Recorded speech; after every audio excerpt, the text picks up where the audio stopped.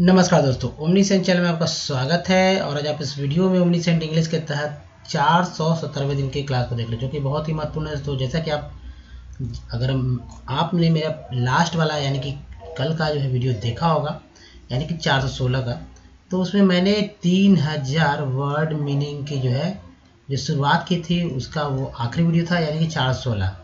अब देखिए, इस वीडियो से मैं फ्रेजेज जी हाँ दोस्तों फ्रेजेस के बारे में बात करूँगा और फ्रेजेस बहुत ही इंपॉर्टेंट जो कि पर डे यूज़ वाले फ्रेजेस हैं। कैसे फ्रेजेस को यूज़ करके अपनी बात को यानी कि छोटी छोटी सेंटेंस मतलब हर एक सेंटेंस में छोटा सा वर्ड मिलाकर आप अपनी बात को कितना इफ़ेक्टिव बना सकते हैं इस बात पे। साथ साथ ईडियम्स पे भी बात होगा। तो फ्रेजेस ईडियम्स फ्रेजेस ईडियम्स करके जो है, अब वीडियो आएँगे और लगातार वीडियो रहेंगे जिससे कि आपको बहुत ही फ़ायदा होगा। तो जो अपने सेंटेंस का दायरा, यानी जो लिखते हैं या जो बोलते हैं, उनका उसका दायरा बढ़ाना चाहते हैं तो उस वीडियो को अंत तक देखिए। और सबसे ज़रूरी बात दोस्तों, अगर आप नए हैं तो चैनल को सब्सक्राइब कर लीजिएगा, घंटी को दबाए आने वाली वीडियो के लिए, तभी इस तरह का वीडियो जाएगा सबसे पहले आपको मिल सकेगा दोस्तों। तो लाइक और शेयर ज़रूर कीजिएगा। हमारे वीडियो को डे वन से देखने के लिए बस इतना करना है कि उम्मीद से इंग्लिश यूट्यूब पर सच में टाइप कीजिए। माइक बोली, सारे वीडियो के लिंक आपको मिल जाएँगे। दोस्तों राइटिंग स्किल की बात की जाए स्पोकन स्किल दोनों एक ही जैसा होता है। जैसे कि होता है क्या कि जब आप स्कूल में जाते हैं स्कूल से जो है स्कूल गए, ठीक है स्कूल से कॉलेज गए और कॉलेज से बाद आप जो है सामाजिक दुनिया में अपना जो रहते हैं या जो भी आपका बिज़नेस है मतलब कहने का मतलब कॉलेज के बाद ज़ाहिर सी बात है, आप जो है अपना लाइफ आपका जो जो जो बचा हुआ लाइफ रहता है, उसमें आप जो भी करना अचीवमेंट बनना चाहते हैं, करते हैं। तो अब होता क्या है स्कूल कॉलेज में सिर्फ़ लिखने को बोला जाता है, ठीक है? बोलने के लिए तो कोई कोई भी नहीं सिखाता है। हाँ इंग्लिश मीडियम स्कूल में इंग्लिश बोलने के लिए सिखाया जाता है, लेकिन वो भी दोस्तों बस इंग्लिश बोलने के लिए सिखाया जाता है। ये नहीं बोलना सिखाया जाता है कि भाई, कितना बोलना है, कहाँ बोलना है, नपा तुला। जैसे कि हमारे बड़े बड़े जो राजनेता राजनेता, जो होते हैं राजनीतिज्ञ होते हैं, वो अपनी बात को सारगर्भित करते हैं। जो बड़े बड़े ब्यूरोक्रेट्स होते हैं, वो भी सारगर्भित, यानी बहुत संक्षेप में, या न्यूज़ एंकर को देखिए, बहुत ही इसी बात पर टॉपिक होता है कि बहुत ही विश्लेषण, सटीक विश्लेषण और सूक्ष्म विश्लेषण के साथ वे बात करते हैं। तो ये सब सिखाया नहीं जाता है। वो तो आपकी क्षमता पर है, लेकिन कम से कम जो बेसिक है बोलना, वो सीख सकते हैं। तो बहुत सब लोग नहीं, हिंदी मीडियम वाले लोग इंग्लिश नहीं सीख पाते हैं, और जो अगर प्योर फुल्ली इंग्लिश मीडियम से है, वो हिंदी नहीं सीख पाते हैं। तो इसका जो डिफरेंसेस है, वो तो खुद खुद दूर करना होगा। यहाँ मैं इंग्लिश में फ्रेजेस की बात कर रहा हूँ, वो ज़रूर देखें। और अगर आप लिख पाएँगे, उस तरह से तो आप बोल भी पाएँगे। अगर बोल पाएँगे तो लिख भी पाएँगे। आपको अगर आप शिक्षित हैं तो ज़ाहिर सी बात ये बहुत ईजी हो जाएगा आपके लिए। तो आइए शुरू करते हैं। बिना विलम्ब के सब कुछ इसी स्टेप में सीखें दोस्तों। जैसे फ्रेजेज ठीक है? फ्रेजेज का यूज़ जो है अपनी बातों को जो है, एक मजबूती या कहें प्रभावी बनाने के लिए किया जाता है। यानी कि लोकगीति अब मुहावरा की बात हो रहा है दोस्तों फ्रेजेस में तो फ्रेजेस आइडियम्स इसी तरह के हैं।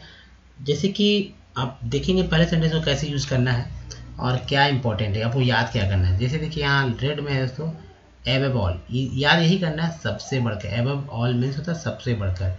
अब जब भी आप हिंदी बोलते हैं तो सबसे बढ़कर आपके अगर वाक्य में आता है तो उसके लिए एव ऑल का इस्तेमाल कर देंगे। न कि सबसे बढ़कर के लिए कोई अंग्रेज़ी आप अपने आप से बैठा देना। तो यही इम्पोर्टेंट है कि सबसे बढ़कर के लिए कोई विशेष रूप से अपना वर्ड मीनिंग नहीं देना है, ठीक है? अब बस क्या करना है? एव ऑल करना है। कैसे सेंटेंस यूज़ करेंगे ये भी देखिए। जैसे कि Mahatma Gandhi was a social worker ठीक है? ये तो सिंपल सा बात है कि Mahatma Gandhi was a social worker और state statesman and above all a lover of truth Hindi क्या होगा इसका? ये भी देख लीजिए कि महात्मा गांधी समाज सेवी, राजनीतिज्ञ और इन सबसे बढ़कर सत्यवादी थे। तो यहाँ पर एव ऑल आ गया, जैसा कि आप देख रहे हैं, इन सब, सबसे बढ़कर सत्यवादी थे। तो ये ऐसे ही यूज़ करना है। तो याद रखना आपको एव वॉल मीन्स क्या होता है? सबसे बढ़कर देखिए, अगर इस्तेमाल कीजिएगा यूज़ कीजिएगा, जी हाँ दोस्तों यूज़ कीजिएगा, तभी आपको यूज़ करने आएगा बोलने पे आएगा। तो हिंदी वाले सेंटेंस को देखिए, और महात्मा गांधी समाज से भी राजनीतिज्ञ और इन सबसे बढ़कर सत्यवादी थे। तो बस एव वॉल आ गया। ठीक है? अब नेक्स्ट देखते हैं आफ्टर ऑल मिला जुला कर। आफ्टर ऑल बोलते हैं ना, हम लोग बोलते हैं आफ्टर ऑल आफ्टर ऑल भाई हो जाएगा। मिला जुला कर ये हो जाएगा। बोलते हैं आफ्टर ऑल हम लोग अपने हिंदी में इंक्लूड कर चुके हैं। लोग बोलते भी हैं, लेकिन इसका इसका कैसे होगा दोस्तों an English man has many flaws in him but after all देखिए यहाँ पर है after all he is an ideal citizen Hindi क्या होगा, ये भी देख लीजिए, किसी अंग्रेज़ में अनेक त्रुटियाँ रहती है, पर मिला जुला कर वह एक आदर्श नागरिक होता है। एक सेंटेंस है। चलिए सेंटेंस तो आपने देखा, वैसे ही आप किसी भारतीय में अनेक त्रुटियाँ रहती है, पर मिला जुला कर एक आदर्श। नागरिक या आदर्श भारतीय ही रहता है। आप कर सकते हैं सेंटेंस बना सकते हैं ना। यहाँ पर इंग्लिश मैन की जगह आपका इंडियन कर दीजिए। और यहाँ भी इंडियन कर दीजिए इंडिया कर दीजिए, ठीक है? तो सेंटेंस को आप खुद क्रिएट करें। तो आप याद कर क्या रखना है आफ्टर ऑल को याद रखना है। चलिए नेक्स्ट देखिए अगेंस्ट रेनी डे बुरे दिन के लिए अगेंस्ट ए रेनी डे अब भाई अगेंस्ट मीन्स खिलाफ होता है रेनी मीन्स वर्षा होता है डे मीन्स दिन होता है, लेकिन अब बुरे दिन तो नहीं होता तो यही वाक्यांश है, और वाक्यांश है सारगर्भित है। तो कैसे मालिक सेंटेंस है every man should lay every man should lay by something against है। देखिए, अगेंस्ट है रेनी डे बस इतना ही आ गया सेंटेंस में, अगेंस्ट है रेनी डे हिंदी कैसे हो जाएगा दोस्तों? देखिए, प्रत्येक मनुष्य को बुरे दिन के लिए, जी हाँ दोस्तों, ये हो गया अगेंस्ट है रेनी डे के बुरे दिन के लिए कुछ बचा कर रखना चाहिए। बहुत ही सारगर्भित बात है और बुरे दिन के लिए के लिए अगेंस्ट रेनी डे को याद रखिए। तो ये याद क्या रखना है आपको अगेंस्ट है रेनी डे बुरे दिन के लिए। अब सेंटेंस में कैसे जुड़ना है, ये तो आपको समझ में आ ही रहा होगा, चलिए नेक्स्ट देखते हैं तो और ये देखिए। जैसे दोस्तों यहाँ पर देखिए, बराबर लगातार, क्या होगा? ऑल लॉन्ग एक तो ये हो गया ऑल लॉन्ग और दूसरा हो गया ऑल द वाइल लगातार के लिए ऑल द वाइल और बराबर के लिए, बराबर के लिए क्या होगा? ऑल लॉन्ग ये हो गया इसके लिए, और लगातार के लिए ये हो गया दोस्तों। बहुत ही ध्यानपूर्वक देखेंगे आप। चलिए नेक्स्ट मतलब इसका सेंटेंस में यूज़ देखिए।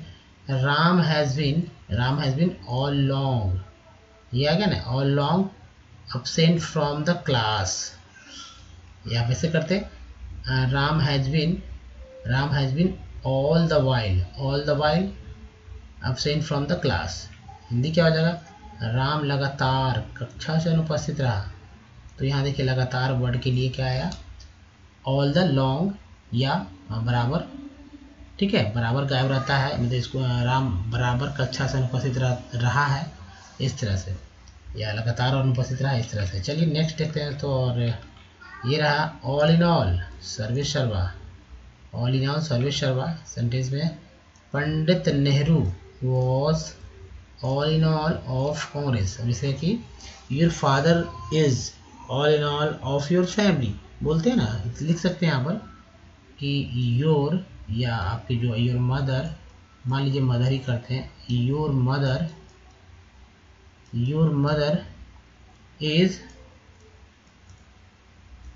all in all in all of your ठीक है ऑफ़ योर फैमिली ये ऑफ़ फैमिली भी कर सकते हैं, यानी कि आपकी माँ आपके घर की सर्वे सर्वा है। ठीक है? तो चलिए, हिंदी है जैसे पंडित नेहरू, कांग्रेस के शर्वा शर्वा सर्वे शर्वा थे, यानी कि सर्व सबसे ऊपर थे यही अब चलिए नेक्स्ट देखते हैं, और ये रहा नेक्स्ट अलॉन्ग विद यानी साथ साथ याद यही रखना है दोस्तों अलॉन्ग विद का हिंदी क्या होगा? साथ साथ होगा। इसको इस्तेमाल कैसे करेंगे? देखिए तो राम वेन टू मार्केट मान लीजिए आपका नाम जो है या किसी का नाम बोलना है, राम पेंटू, या कोई सेंटेंस तो आपको बनाना ही होगा। राम गो टू मार्केट भी कर सकते थे अलॉन्ग विद हिज फादर ठीक है?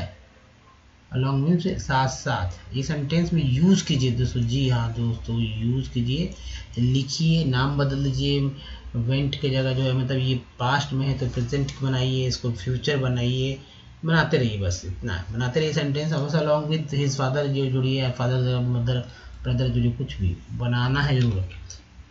जैसे राम अपने पिता के साथ साथ बाज़ार गए थे। मान लीजिए राम पे सीता लिखते सीता गोज टू चलिए सेंटेंस यहाँ बना ही लेते हैं। Sita goes to C O C O E S ठीक है, सीता गोज टू कहाँ?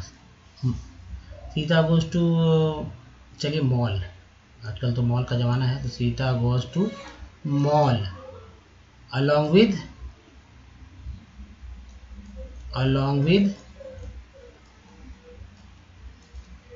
her अब लड़की है भाई तो यहाँ हिज की जगह हर इस्तेमाल होगा हर फ्रेंड ठीक है हर फ्रेंड या, ठीक है हर फ्रेंड यानी सीता अपने सहेली कह सकते हैं अपने दोस्त के साथ मॉल जाती है। या जाने वाली है लिखना है तो है, मतलब सीता हैव टू गो या मतलब सीता ठीक है?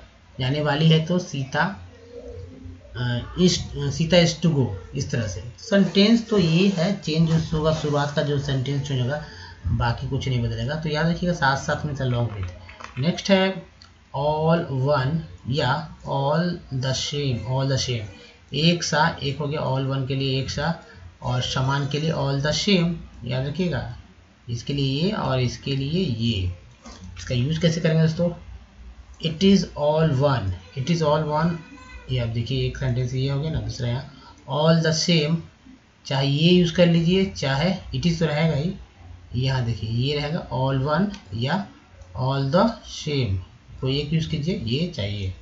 इट इज़ ऑल वन और all the same to him whether you read और नॉट ठीक है? जैसे कि इसको मान लीजिए यहाँ पर नहीं रखते हैं। It is all one to him it is all one to him whether you read और not it is all it is all the same to him whether you read और नॉट हिंदी क्या हो जाएगा? तुम पढ़ो। या ना पढ़ो, उनके लिए समान ही है। ठीक है नेक्स्ट है तो चलिए नेक्स्ट देखते हैं, और ये रहा नेक्स्ट एज यू रूल नियमतः। नियमतः रूल है। रूल तो भाई है ही तो रूल है नियमता एज यू रूल तो अब शुरू में लगा देते हैं as a rule every subject must have a verb मतलब एक नियम है, नियमता, नियम है। नियमता प्रत्येक कर्ता के साथ क्रिया रहती एक जैसे एक नियम है। जैसे पृथ्वी गोल है तो ये क्या नियम ही है? चलिए नेक्स्ट देखते हैं तो। एज फॉर या एज टू दो है, दो सन यहाँ पर है प्रेज एस फोर है या एस टू है, जो कोई यूज़ करना है, हिंदी तो वही होगा संबंध में। ठीक है, संबंध में, दोनों की लिखी है। देखिए I know nothing I know nothing मैं कुछ नहीं जानता हूँ। एस टू ठीक है? ये देखिए एस टू हो गया, इसके जगह एस फोर भी लिख सकते थे। हिज करेक्टर क्या हो जाएगा उसके चरित्र के संबंध में, या देखिए, संबंध में यही है। उसके चरित्र के संबंध में मैं कुछ नहीं जानता, या ऐसे लिखते जानता हूँ। मैं कुछ नहीं जानता हूँ उसके चरित्र के संबंध में। मैं कुछ नहीं जानता हूँ, ठीक है? उसके चरित्र के संबंध में तो इस तरह से तो पहले ही उसके चरित्र के संबंध में मैं कुछ नहीं जानता। यहाँ पर वो छुट गया है तो फिर भी यहाँ लिख लें। चलिए नेक्स्ट देखते हैं तो और ये देखिए as a luck as a luck would have it बस इतना ही है दुर्भाग्य बस है इसका।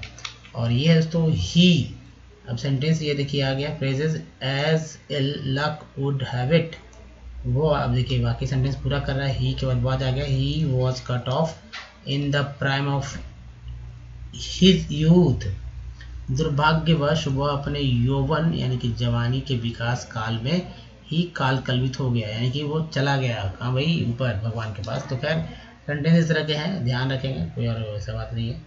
दुर्भाग्यवश वह अपने यौवन के विकास, यानी कि डेवलपमेंट जो था डेवलपमेंट एज था, जो बढ़, उस, जो बढ़ रहा था, उसमें ही काल कल्पित हो गया। तो चलिए नेक्स्ट देखते हैं, और ये रहा नेक्स्ट देखना नेक्स्ट जो है, ये रहा दोस्तों at the loss puzzled king कर्तव्य विमुण किंग कर्तव्य विमुण when the hunter when the hunter saw the bear he was at the loss to decide what to do देखिए सेंटेंस को तोड़ना होगा। वेन द हंटर सॉ या when the hunter saw the bear he was at the loss to decide what to do Hindi क्या हो जाएगा? जब शिकारी ने भालू को देखा। यहाँ तक है बियर वह क्या करे? वह क्या तब, ठीक है? तब वह किंग कर्तव्य हो गया हो गया। अर्थात वह क्या करे? कुछ निश्चय नहीं कर सका। भालू को देखने के बाद। चलिए नेक्स्ट है दोस्तों। दोस्तों, इस वीडियो में यहीं तक, ये वीडियो तो यहीं पर एंड में कर रहा हूँ क्योंकि जो भी था, कुछ बहुत ही खास और महत्वपूर्ण था। तो थोड़े थोड़े लाकर मैं आपको हमेशा कुछ बहुत ही बेसिक और जो इम्पोर्टेंट फ्रेजेज एंड इडियम्स बुलाता रहूँगा ताकि आप अधिक से अधिक सीख सकें। तो दोस्तों, इस वीडियो में यहीं तक। वीडियो पसंद है लाइक कीजिए शेयर कीजिए, नए तो चैनल को सब्सक्राइब कीजिए घंटी दबाई आने वाली वीडियो के लिए। एक लिंक यहाँ दिया गया जिससे कि हमारे वीडियो को सब्सक्राइब कर सकते हैं। एक लिंक यहाँ जिससे कि हमारे वीडियो को डे बन सकते हैं यानी प्लेलिस्ट का हमारा यहाँ लिंक है दोस्तों। कुछ प्रीवियस वीडियो को जो है यहाँ और एक प्रीवियस वीडियो को यहाँ से देख सकते हैं। तो धन्यवाद ठक्सन भाजी मिल सके ध्यान रखें धन्यवाद दोस्तों। अगेन